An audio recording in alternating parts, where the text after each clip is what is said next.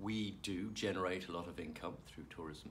However, much of that is generated by day visits. And our principal challenge is to try and change those day visits into overnights. New hotels at Waterside and at Peak Resort are fundamental parts of, of the future of Chesterfield uh, and will attract more visitors spend to the area. I mean, Chesterfield's uh, a town that's doing really well now in terms of tourism. One of the benefits that brings is the jobs, but it also presents real challenges to make sure we have a skilled workforce.